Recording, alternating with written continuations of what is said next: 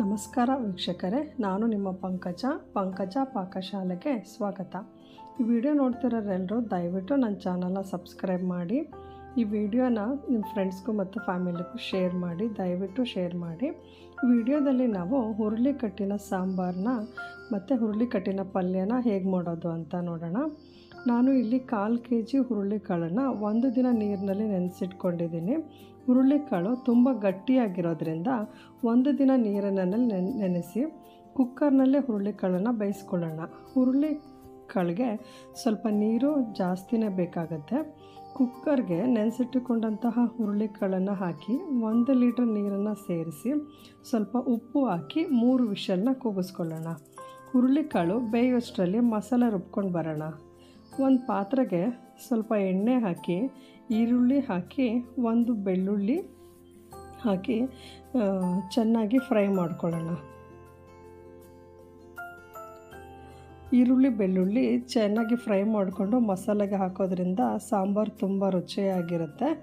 ನೀವು ಒಂದ್ಸಲ ಟ್ರೈ ಮಾಡಿ ನೋಡಿ. ಎಲ್ಲ ಸಾಂಬಾರ್ಗೂ ಈರುಳ್ಳಿ, ಬೆಳ್ಳುಳ್ಳಿನ ಫ್ರೈ ಮಾಡ್ಕೊಂಡು ಹಾಕಿದ್ರೆ ತುಂಬ ರುಚಿಯಾಗಿರುತ್ತೆ. ನೀವು ಒಂದ್ಸಲ ಟ್ರೈ ಮಾಡಿ ನೋಡಿ ಸ್ನೇಹಿತರೆ.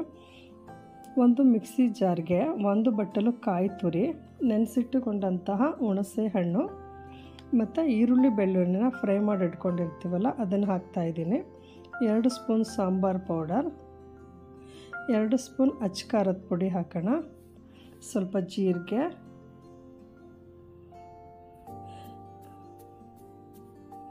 ಸ್ವಲ್ಪ ಜೀರಿಗೆ ಹಾಕ್ತಾಯಿದ್ದೀನಿ ನಿಮಗೆ ಸಾಂಬಾರು ಸ್ವಲ್ಪ ಮಂದ ಬೇಕಂದರೆ ಬೇಯಿಸಿಟ್ಕೊಂಡಿರೋಂಥ ಹುರುಳಿಕಾಳನ್ನು ಸೇರಿಸ್ಕೊಂಡು ರುಬ್ಕೊಳ್ಳಿ. ಈ ಎಲ್ಲ ಪದಾರ್ಥಗಳನ್ನು ರುಬ್ಕೊಂಡಿದ್ದೀನಿ ನೋಡಿ. ಈ ಸಾಂಬಾರಿಗೆ ಮಸಾಲೆ ರೆಡಿಯಾಗಿದೆ ನಂತರ ಈರುಳ್ಳಿ, ಬೆಳ್ಳುಳ್ಳಿ ಹುರ್ಕೊಂಡಿರುವ ಪಾತ್ರೆಗೆ ಒಗ್ಗರಣೆ ಹಾಕ್ತಾಯಿದ್ದೀನಿ ಪಾತ್ರೆಗೆ ಸ್ವಲ್ಪ ಎಣ್ಣೆ ಹಾಕಿ ಎರಡು ಒಣಮೆಣಸಿನಕಾಯಿ ಸ್ವಲ್ಪ ಕರಿಬೇವು, ಸ್ವಲ್ಪ ಈರುಳ್ಳಿ ಹಾಕ್ತಾಯಿದ್ದೀನಿ ಸಾಸಿವೆ, ಜೀರಿಗೆ, ಈರುಳ್ಳಿ ಒಣಮೆಣಸಿನಕಾಯಿ ಕರಿಬೇವು ಹಾಕಿ ಒಗ್ಗರಣೆ ಮಾಡ್ಕೊಂಡಿದ್ದೀನಿ. ನಂತರ ರುಬ್ಬಿಟ್ಟುಕೊಂಡಿದ್ದ ಮಸಾಲೆನ ಸೇರಿಸ್ತಾ ಇದ್ದೀನಿ.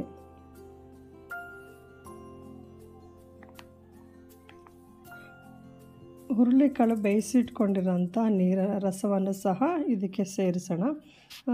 ರುಬ್ಬಿಟ್ಟದ ಮಸಾಲೆ ಮತ್ತು ಬೇಯಿಸಿರುವಂಥ ಹುರುಳಿಕಾಳ ನೀರನ್ನು ಸೇರಿಸಿ, ನಿಮ್ಗೆ ಬೇಕಾಗಿರೋ ಅಷ್ಟನ್ನು ನೀರನ್ನು ಸೇರಿಸಿ ಚೆನ್ನಾಗಿ ಕುದಿಸ್ಕೊಳ್ಳೋಣ. ನಿಮಗೆ ಎಷ್ಟು ಸಾಂಬಾರು, ಮಂದ ಬೇಕೋ, ತೆಳು ಬೇಕೋ ಅದನ್ನ ನೋಡಿಕೊಂಡು ನೀರನ್ನು ಸೇರಿಸ್ಕೊಳ್ಳಿ.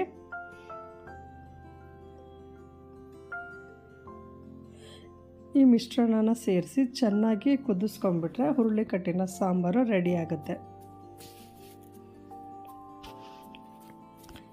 ಇದನ್ನು ಚೆನ್ನಾಗಿ ಕುದಿಯೋಕೆ ಬಿಡೋಣ ಸ್ನೇಹಿತರೆ. ಅದಕ್ಕೆ ಸ್ವಲ್ಪ ತೆಂಗಿನಕಾಯಿ ತುರಿ, ಸ್ವಲ್ಪ ಉಪ್ಪು ಹಾಕ್ತಾಯಿದ್ದೀನಿ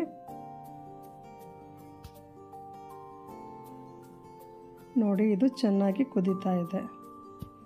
ಇವಾಗ ಹುರುಳಿಕಟ್ಟಿನ ಸಾಂಬಾರು ರೆಡಿ ಆಯಿತು. ನಂತರ ಹುರುಳಿಕಾಳು ಪಲ್ಯನಕ್ಕೆ ರೆಡಿ ಮಾಡ್ಕೊಳ್ಳೋಣ, ಬನ್ನಿ.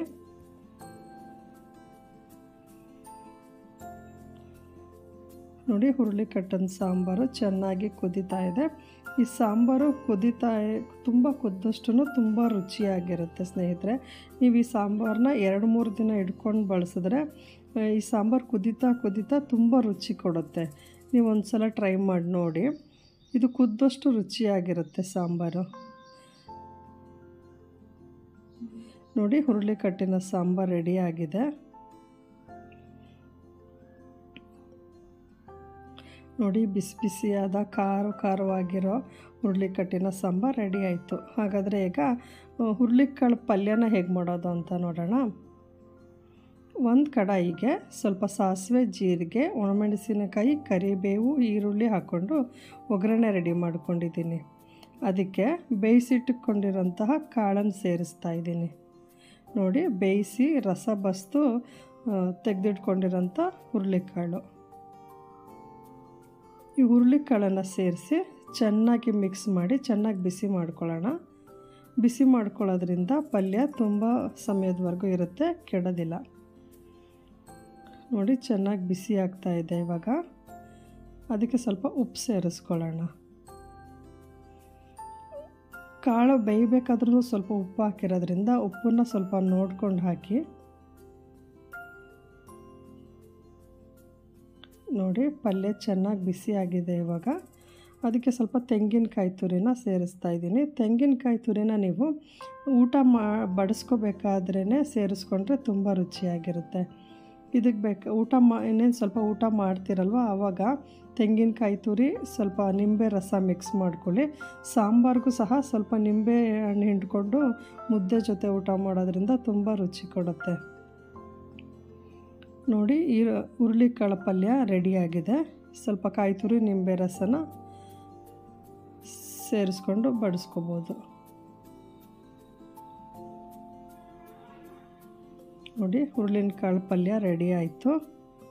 ಈ ಹುರುಳಿಕಾಳು ಸ, ಪಲ್ಯ ಮತ್ತು ಹುರುಳಿಕಾಳು ಕಟ್ಟಿನ ಸಾಂಬಾರು ಮುದ್ದೆ ಜೊತೆ ತಿನ್ನೋಕ್ಕೆ ತುಂಬ ಚೆನ್ನಾಗಿರುತ್ತೆ ಸ್ನೇಹಿತರೆ. ಜ್ವರ, ಶೀತ ಬಂದಾಗಂತೂ ಈ ಹುರುಳಿ ಕಟ್ಟಿನ ಸಾರು ತುಂಬ ರುಚಿ ಕೊಡುತ್ತೆ. ನಾಲ್ಗೆಗೆ ತುಂಬ ಹಿತ ಅನಿಸುತ್ತೆ. ಜ್ವರ ಬಂದಾಗ ನಾಲ್ಗೆ ಸ್ವಲ್ಪ ರುಚಿನ ಕಳ್ಕೊಂಡಿರುತ್ತೆ. ಏನಾದರೂ ಖಾರ ಖಾರ ಇರೋದು ತಿನ್ಬೇಕನ್ಸುತ್ತೆ. ಆವಾಗ ಈ ಹುರುಳಿ ಕಟ್ಟು ಸಾಂಬಾರು ಮತ್ತು ಹುರುಳಿ ಕಾಳಿನ ಪಲ್ಯನ ಮುದ್ದೆ ಜೊತೆ ಮಾಡ್ಕೊಂಡು ತಿಂದರೆ ತುಂಬ ಚೆನ್ನಾಗಿರುತ್ತೆ. ಒಂದು ಸಲ ಟ್ರೈ ಮಾಡಿ, ಹೇಗಿತ್ತು ಅಂತ ಕಾಮೆಂಟ್ ಮಾಡಿ. ಮತ್ತೆ ಮುಂದಿನ ವಿಡಿಯೋದಲ್ಲಿ ಭೇಟಿ ಆಗೋಣ ಧನ್ಯವಾದಗಳು.